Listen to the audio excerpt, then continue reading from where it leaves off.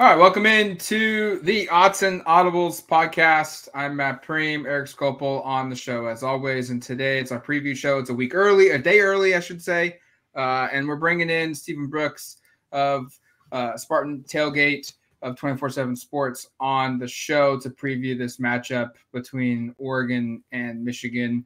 Uh, Stephen, we're just talking about it. Uh, you're coming out west for the game. It feels weird to call this a Big Ten game, but here we are. This, these are now two similar teams in the same conference. Uh, how how how has Michigan State's season um, kind of gone, considering the expectations uh, they had going into this year, where like one ten win season since 2018. You know they had a fire a head coach last season. Jonathan Smith inherits a group that saw some transfers out, saw some transfers in. Just mm-hmm. how are we judging this season and how is it defined as a success for Jonathan Smith in year one?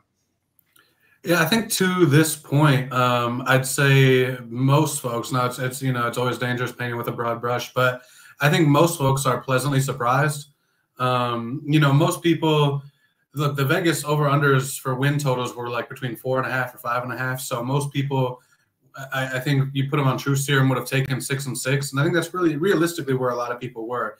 You had a couple people that were a little bit below that. A couple people maybe thought seven or eight. I picked them to go five and seven, but that's about the range that we're talking. Like a lot of people at the end of the day would would say, just get to a bowl game, get the direction, get the ship pointed back in the right direction, and go from there. So in that respect, you know, three and one. Um, I'm sorry, three and two uh, you're you're halfway to, to, bowl eligibility there. So I think that's been positive. I think they've just been, especially when they started three and zero, oh, like they just sort of came out of the gate more cleaner and more competent than I think people imagine. And when you're talking about 61 new players on the roster that were not on the 2023 roster, uh, obviously new schemes on both sides of the ball.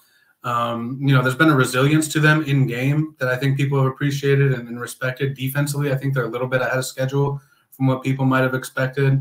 And uh, you know, there's been some some highs and some thrilling moments and, and, plenty of lows, but I think just in general, it hasn't been like the painful slog that a lot of people expected. There's been some fun moments, like you go out and win at Maryland and a last second field goal.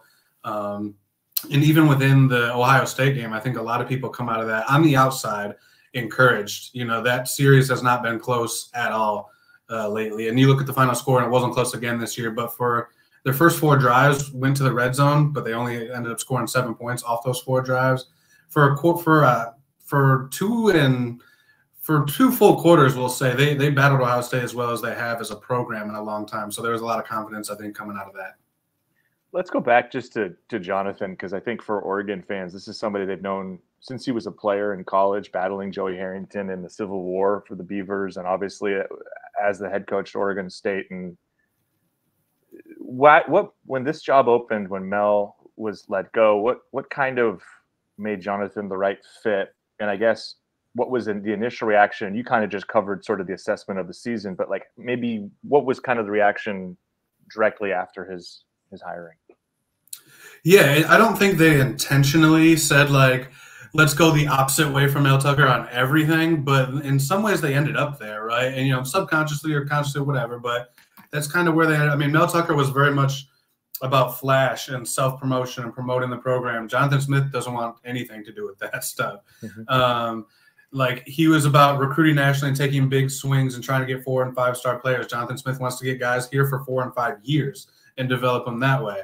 Um, defensive guy, offensive guy, you know, uh, Cleveland, Midwest, Big Ten sort of guy, West Coast guy. So they're, they're very, very different in a lot of ways. Um, in terms of what so I think some of that stuff was attractive. You know, I mean, him and Mike Elko pretty much bubbled up to the top as the two best like gettable coaches. You'd say in that um, in that cycle last year. Now there's always some, you know, like Brian Kelly. Was he gettable when he went to LSU? He, nobody thought so, but he ended up being. But in terms of the the coaches that look right for the picking, it was Jonathan Smith and Mike Elko. Um, and I just think uh, there's a lot of DNA that we've already seen in what about 10 and 11 months um, that reminds folks of Mark Dantonio, you know, who's oh. the all-time wins leader here. He, they're they're not the same person, but there's some traits and similarities that you can see Smith as sort of a younger, offensive-oriented Mark Dantonio in some ways. I think that was attractive. So people saw what he did at Oregon State, and they see the parallels, like Michigan to Michigan State, Oregon to Oregon State. the dynamic there that's in play where you have, you know, lesser resources, lesser spotlight, all that stuff. Talk about building a program over time in several years, developmental players, turning guys that, you know, just kind of go, yeah, you go, yeah, on signing day, turning them into NFL guys or at least really good college players. That was Mark Dantonio's MO. So they saw some of that and were like, okay, we can get on board with that. He's also a proven head coach that Mel Tucker wasn't. You know, he does have a track record as a head coach. Mark Dantonio had a little bit of that as well, not as much success probably on the high end as Smith when he came in. So there, there was that that people got on board with. But they just, again, uh, by the end of the Mel Tucker deal, for a lot of reasons, people just want anything different. And Jonathan Smith was different in a lot of different ways. So I think they were very eager to wrap their arms around it.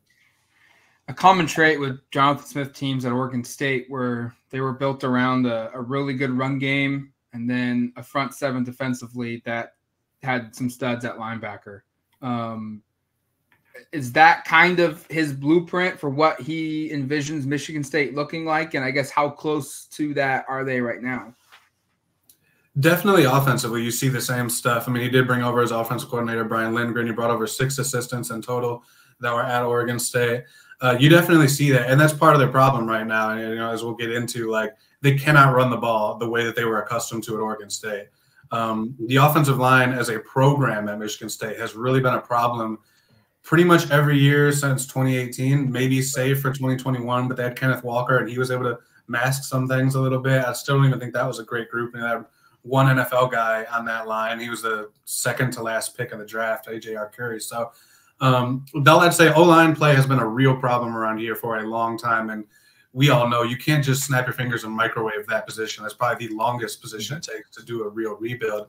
So Mel Tucker and those guys, I give them credit there. They did bring the size back up in that room, and they recruited some pretty good players that just just now are entering years like three and four and five that you want to see performance.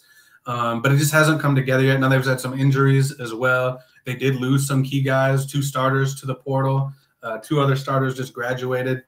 So it was a dicey deal to begin with, and it just hasn't come together yet. And they, so, long story short, they just cannot run the ball and as you guys I'm sure are familiar with, like that was so vital to what every offense, of course, but all the play action bootleg stuff that they were doing the last few years, like that's not really on the table for them right now because they just can't run the ball at a serviceable level. I know their numbers might look okay, but trust me when I tell you, like down to down, there's very little confidence that they can block like basic run plays. So the counter of that, I guess, is is what's there in the pass game. And um, Aidan Chiles, again, going to be a lot of familiarity between these teams, by the way, which is kind of unusual considering, again, and they're in the same conference now, but they have a, quite a bit of geography between them. Um, but Aidan's a guy Oregon recruited in, at a high school, and obviously he played against him a year ago, where he played a little bit for the Beavers. We are aware of the physical tr- the tools. This guy has an absolute cannon for an arm. He's a really good athlete. I think there's no doubt that there's NFL traits there. What what have you seen so far in terms of just the rest of it because from the outside in, looking at the numbers, the first number you see is the interceptions, which is a really large yeah. number through four game or four or five games. Yeah. Yeah, no, it's uh I'm glad I don't have to explain like the first part that you just laid out there because like you just look at it, you're like this guy's trash, you know, just he's average at best, but like he, he's shown some extremely high level stuff. So um it's been consistency, you know, as boring or basic as that might be. It's it's very much consistent. It's one throw, your jaw's on the floor, and then the next, you know, you want to hide under the pillow. Like, oh my god, how did you do that? Like, why would you do that? You know, it's it's every play is a roller coaster. Um, every game, you know. So I, I think the biggest thing is, you know, there was a lot of hype behind him when he came here um, for a lot of reasons. You know, he did play the nine games last year, was able to showcase things. So I think for nine months or so, once he got here in January, it was Aidan Chiles. You know, like I said, Jonathan Smith doesn't seek the spotlight or the headlines, doesn't do a lot of interviews other than, you know, your, your routine stuff. Aidan Chiles was like the face of this new era from day one, basically. Uh, everyone knows he's being paid handsomely, that he's got a lot of talent. So I just think he came right out of the gates this season trying to be the man right away. And I mean, his first pick of the first, first pass of the year was picked off. Now, it was kind of a tough play. It was bobbled on the sidelines by the receiver and got kind of plucked it out of the air. But regardless, uh, multiple picks in that game, multiple picks in um, three of his first four games. Would have had a pick in all four of his first four games, if not for offsetting penalties. So I just think he's been too uh, wound up upstairs. I think he's been too cranked up, trying to be the guy right away, trying to be the stud that everyone's made him out to be right away. And so he's forced things, um, made some bad decisions, you know, and the turnovers have probably been the biggest problem. It's whether whether that's forcing things, whether that's just misreading things. A couple of them have just been tip your hat type of good plays. Um, but yeah, I think that's mostly what his issue's been because when he's calm and when things are right and he can just deliver the ball, like it's a work of art. It's beautiful stuff. Or to see him escape the pocket and extend stuff, like the guy is incredibly talented. But I do think he's tried to do a little too much, and that has been um, probably a big part of his consistency issue so far. Yeah, you guys don't need to sell me on him. He was one of my favorite, and it's the same class as Dante Moore, who obviously ended up at Oregon, and Austin Novosad, who did as well. But Chiles was somebody that I think a lot of people out west were were really fired up about, and and kind of surprised he ended up at Oregon State. But obviously, it's worked out for him now he's in East Lansing. Um, again, a lot of familiarity here. I wanted to get something that maybe is a little different, which is like maybe schematically what Michigan State does defensively. Trent Bray did not mm-hmm. join him, obviously. He's Oregon State's head coach. And it sounds like, based on what Coach Lanning said on Monday night, that maybe the defense doesn't resemble entirely what Jonathan's done in the past. Can you give us a sense of kind of what they're doing and then maybe some of the strengths of that defense? Sure. So he brought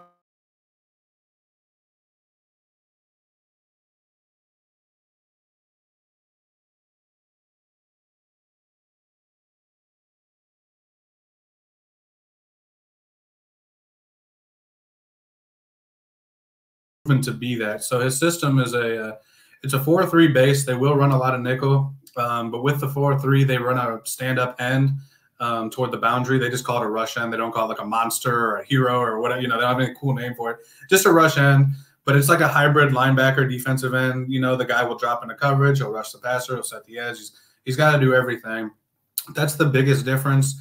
Um, probably in just in terms of how they line up and whatnot. You got that stand up guy, but again, they will play a lot of nickel on the back end, um, they play everything. You know, last like I was so used to the previous staff, they were kind of like cover three or die, you know, and if they did anything else, it was it was a major wrinkle. They play everything in the back end, um, and they they do a pretty good job of disguising it.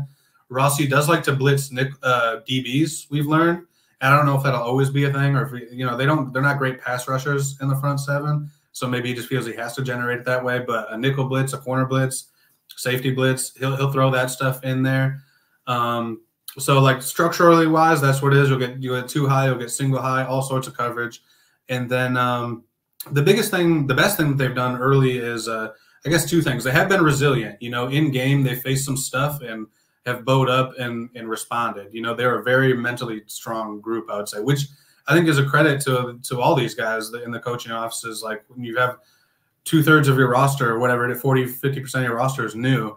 Um, and, you, and especially on defense, they're playing a lot of guys in this new system. So they picked it up quickly. They trust a lot of guys quickly, and they're all playing at a pretty high level. But there's a response to them. I don't. I won't go super in the weeds, but several games they've had like in-game adversity, not just sudden change stuff, and had to respond to it. And they have pretty much every time. Um, save for Ohio State, maybe when that one just got away from them. So they're resilient in that sense, but also the run defense has been way better than I thought. Uh, Derek Harmon is now on the Ducks roster, and him and Simeon Barrow were going to be their starting D tackles. To me, definite all conference caliber type of guys, probably NFL type of guys. You lose two of them in the middle of your defense, I thought that was going to be a problem. And I didn't really even see a starting level guy behind them to replace them the guys that they had left, I said, okay, those will be good backups, and you know, guys four, five, six, maybe. You don't want either of them being one or two, though. And I was wrong. They've been pretty good there, and they, they're good. Their strength is their numbers in their D line. There's not probably there's probably not a draft pick among them right now. Um, probably not even an all league guy among them, maybe right now. But the numbers and multiple of these D linemen have talked about it as the season's gone on. They feel so much more fresh in the fourth quarter than they're used to because they're rolling in numbers at, at, a great pace and lowering those snap counts, you know, to the 30s and 20s, not the 40s and 50s. Um, so that's really the strength. And then again, they've been good against the run. Front seven has a lot to do with that. The linebackers are veteran. They play four pretty consistently, and they're all older dudes. So between that and the numbers they have on the D line, they've they've been really good against the run, better than I thought they would. And Ohio State was really the first team to test them in the passing game, and it went okay. You know, I think there's still a little bit more for us to learn there, though. Yeah, you kind of touched on the defensive line there for a second. I was going to ask you about, you know, Dan Lanning brought up how they're sound, they're athletic. Um, sounds like there's a lot of them. Who are the names to know then, like the, defensively in general, um, that that really stood out to you through through five games? Sure. Khris Bogle is the starter at that rush end position I mentioned, that hybrid stand up deal. So he's a guy that will have the opportunity to affect the game a lot of different ways because, like I said, he will even drop back into coverage. He's probably their best pass rusher, but pretty inconsistent. They just don't have a guy where you're like, third and long, where's he at? Where's he at? I have to find him right now, type of thing, or I have to set my protections just based off this. There's not a guy like that. Um, so it's more of a team rush thing. And again, they will send pressure to supplement. Um, he's one. Uh, D'Quan Douse is probably their best D tackle now that Barrow and Harmon are gone. He's a transfer from Georgia Tech. Um, he'll make some plays, but again, they roll guys in there so often. Ben Roberts, who was at Oregon, is basically a second string guy, but he'll play a lot. Uh, at the second level, Jordan Turner, first year transfer from Wisconsin, uh, was a Michigan kid who came home, was honorable mention All Big Ten one year two years ago um, at Wisconsin, and uh, he's kind of your classic like Big Ten linebacker, like you know bulky downhill type of guy. But he's just made a lot of different plays. He's had a couple turnovers that have been really timely and key for them. Um, he's a leader. He's a captain as a guy who's been here for ten months. Um, he's a guy to know there. Uh, all the linebackers will play a lot, but he's probably the main one you're going to want to know. The D lineman, again, there's a lot of guys there but I feel like I main, main some of the some main ones. Jalen Thompson's their other strong side end. He's a good player, but it's just been kind of quiet this year. And then in the back end, I'd mentioned uh, Charles Brantley. He's a cornerback number zero. Um, PFF has had him as one of the highest graded corners in the country. If you if you subscribe to that uh, theory and whatnot, uh, whatever they have going on over there, they like him a lot. But he has been he has been pretty good. Now he's very slight, but he's very experienced. He's been basically been playing since his true freshman year um, but he's he's not even 170 pounds soaking wet. You know, he's just very small, but he is instinctual. He will hit very hard. You'd never know you got hit by a guy who's like 165 or whatever he is. He hits like he's like 20, 30 pounds heavier. A little bit of a gambler, but pretty good in coverage. So he, has been their best guy at, um, at corner uh, so far this year. Matt, were you going to go, or am I going to jump in here with another? I go for it. Okay. Um, I, I, was curious. I, I, always think, you know, obviously three and zero oh starts great, but you lo- you're learning a lot typically from the losses, and at least that's kind of been my perspective. What what were the takeaways there in terms of like maybe some of the the things like are there systemic problems? Are there things that are, are going to improve? And then I guess what did you learn maybe about some growth potential in terms of like areas that they can get better at from those games? That's a great question. Um, so yeah, early through the three and zero oh start, the still the the run game and the O line, like just you could tell that was going to be an issue. I knew it was going to be an issue coming into the season. Again, that's been a systemic problem for the program, and I didn't really like the personnel that they had coming back. I didn't think they addressed it well enough in the portal. I thought that'd be a concern, and it has been. I mean, you can look at them; they rushed for hundred something against Florida Atlantic. They rushed for uh, hundred something, I think, at Maryland, but it was never like 130 at Maryland. I'm looking here like it was never it was a couple of, basically it was it was really carried by a couple big hitters and really even on this season you know we're still probably talking about like 10 to 12 carries that are really juicing that thing up it's a lot of negative zero one two yard gains it's not that healthy three four five you know uh, type of thing per pop it's just they can block it up i mean we've seen some good stuff like they can block it up and get it all right but it's just extremely inconsistent and now the last game they had two true freshmen rotating at left tackle um, I do think the regular left tackle will be back this week. Redshirt freshman Stanton Ramil. He was a four-star guy. He's a good-looking player, just young. Um, on the flip side of that, the O line has been good in protection. I do want to give them the credit there. They, they don't give up a lot of sacks.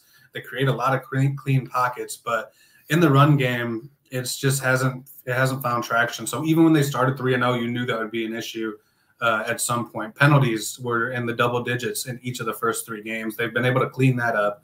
But the turnovers have also been a, a common thread, whether it's Aidan Chiles, whether it's other guys putting the ball on the deck. So you knew like a BC and Oregon or Ohio State, like they're gonna have to play clean first of all to even have a chance.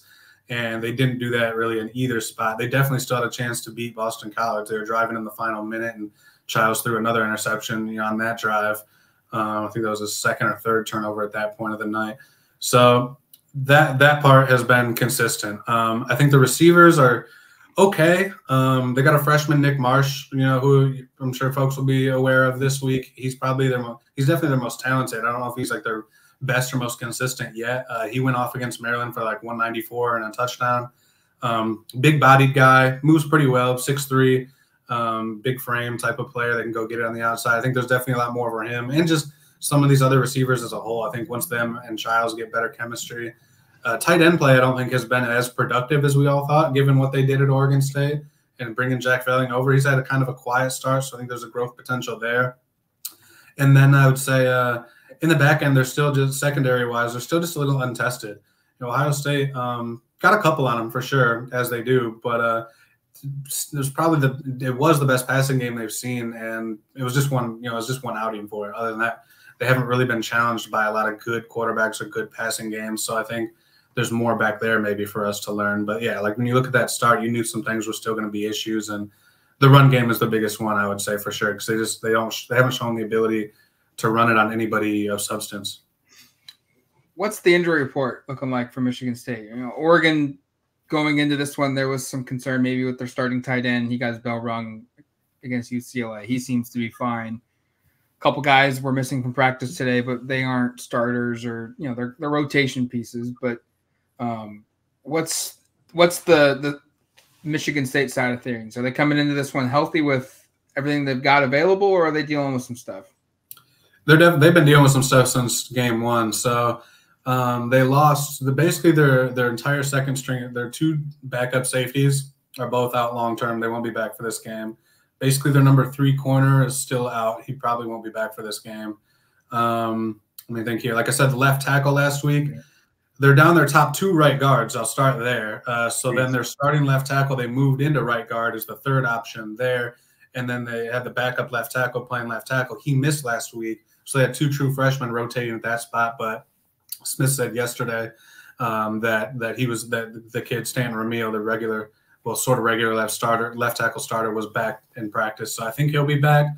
Um, trying to think what else. I got Nick Marsh, the receiver I just mentioned, just came back in the Ohio State game, but he was very limited. So I, I think he'll be closer to full go this week. He missed the week before that. Uh, he missed the Boston College game, but um, he was a game time decision against Ohio State. They played him on a sort of a snap count and didn't. We didn't see a ton of him, uh, but I expect him to be full go there. They were down uh, one of their top three tight ends last week, Michael Masunas. Uh, he's their best blocker at the position, so he gets a lot of reps just based off that. Kind of sneaky good pass catcher, but that's not his forte. Uh, he was out last week. I don't know his status. Uh, and then defensively, like I mentioned, the the two safeties in the corner. That I think is it. There's been a lot, so I'm trying to jog. Yeah. it's tough to remember it all when it gets yeah. to four or five, six, seven guys, and it sounds like that's kind of what they're dealing with. Yeah, the main thing is safety depth. I guess just as some top line takeaways, and uh, offensive line has has been an issue, and it's caused them to reshuffle some things. And then I guess just what's kind of like some some real keys for for offense defensively, offensively and defensively. Excuse me. Just like is there one thing like hey, like they know they can do this. This has to happen uh, for them to have a chance in this game. Offensively, it would be turnovers. You know, that's they've just been such a constant, and sometimes they've gotten away with them, sometimes they haven't. Oregon, especially on the road, is not going to be a team you're going to be able to get away with that. Um, so, like, if if they just hold on to the ball, they have shown some flashes of potential. They can run the ball enough to to keep a semblance of balance, not to really be productive and feel like they're rolling, but just enough. Maybe at times they can do that. And when Chiles uh, is comfortable, when he's not running at 100 miles an hour between the ears, he can settle in and make those throws and make those plays. I mean, he's missed some gimmies sometimes just because he's out of whack up top. I think. Um, but if they can just hold on to the ball, give themselves every opportunity to maximize a possession, I do think they could maximize some. If they start giving it away, then then they have no shot. I mean, you look at last week. They, like I said, the first four drives all ended in the red zone, and uh, only one of them resulted in points. Like they can't do that again. If you get to the red zone four times, you better come away with four four scores of some kind. Um, defensively, I would just say uh, they have to do what they've done against the run, and they've been pretty good. They got a lot of bodies they can throw at you. They can uh, just stay fresh and healthy there and everything. They've just been they've been really salty. It's been a hallmark of Michigan State for several years, going through multiple coaches, and so they have to keep that up. I would say uh, on that end. The other thing is, of course, they want to they want to limit the explosives. That's something they did a pretty good job with Ohio State. I mean, Ohio State had to go like 12 plays, 70, 80 yards a couple times for scores, you know. So if you're making them just take little bites all the way down the field as opposed to you know, snatching it all in one play, uh, that's going to be what they want to do. Now, of course, that's easier said than done. Well, I'm curious from the fan base perspective what this one means to them. Obviously, you've already said you'll be making it your way out here for the first time. Is this a game you expect a lot of travel from the Spartan fan base? Is this a game that this game and this venue does it you think excite the fan base? I'm just curious and kind of what the vibes are right now. Um, because they've played so recently, I don't think there's as much juice as there would be normally. You know, I, you know, they were just out there a decade ago, and they played two other times since then. So it's not like wow, Oregon's this, this whole new experience. Um, I'm sure there will be some travel, especially because it's the only West Coast one this year. There's no USC, no UCLA, no Washington. They did show up at pretty well at Washington a couple years ago. Um, I don't think I haven't heard this big drumbeat of people going out there. I'm sure the West Coast it's a huge school. Um, right. Michigan State, you know, fifty thousand students. Uh, so there's alumni everywhere. I'm sure there will be a contingent, just because there always is. You know, pretty much anywhere you go in the country. But um, I haven't heard about you know a lot of this big groundswell to get out there. And I don't know again, just that's because the programs have played each other or the Friday night aspect of it, or mm-hmm. people just think they're going to get smashed. I don't know necessarily what that is. I, you know, that I think the fan base when you ask about like the vibes like this week, most people I think came out of that Ohio State game pretty encouraged. Again, I know the final score is what it is, and you can have you know debate about moral victory or this or that, but like they played them for a half at least as close as they have uh, in quite a long time. Definitely since Mark Dantonio was here. So I think that showed. I mean, if they could get into the red zone four times against Ohio State, I don't think a lot of people thought that was they were capable of that. And so if a couple things go differently there, you're in a much different game at halftime. Who knows? We'll go. I'm not saying they would have or even should have won it, but I think that, that that a lot of people came away from that game encouraged, and now they're like, okay, we're not just going to go out to uh, Autzen and, and lay down. Like, let's go give a, another good team our best shot and see what that looks like. But nobody, uh, with any sense, pick them to win this game or the last game in the preseason. Everybody thought so. It's these two. Then they have Iowa. Then they have Michigan. It was these four games that were in the middle of the schedule that everybody thought would really be a gauntlet. And I wouldn't even want to say determine their season because most people thought they would go 0 and 4, 1 and 3. And we'll see how that goes now. Um, but this was always like the daunting part of the schedule. Oregon was never in the calculation as like that's that's a winnable game or that's a game they could sneak up and get them. That was never it at all. I think it's just like Ohio State last week. Like you showed pretty well, you did some encouraging things. Let's see that again, right? Let's see the the focus, the confidence, the belief all that type of stuff against a big time opponent and just measure up. You know, this this whole season is really a learning experience for everybody, coaches, fans, media, whatever. Um, and so this is going to be another opportunity to see exactly how they stack up because they did give Ohio State a, a decent scare there for a little bit. Stephen, thanks for coming on the show. Really appreciate the time and uh, safe travels west. And uh, we'll look forward to, to shaking hands and, and talking to the press box pregame. Absolutely, guys. Thanks so much for having me on. I'm really excited to get out there. I, I am. I don't know if the whole fan base is coming out with me, but I'm definitely excited to get out there and see that environment. Um, open air press box real quick before I go. Yep. Or, yeah, yeah. Okay. Yeah. Yeah. Open air. Did not know that before I went to Husky Stadium a couple years ago, and it got a little nippy in, uh, near the end. we'll pack accordingly. I'm glad. I, am glad I remember to ask that. I, yeah, I bring uh, it, it's a light, light jacket, light jacket kind of evening. I think. Yeah. Okay. Great. Great. Good to know. Yep. All right, man. Well, thanks again, and uh, look forward to, to talking with you down the road. Definitely. Thanks, guys.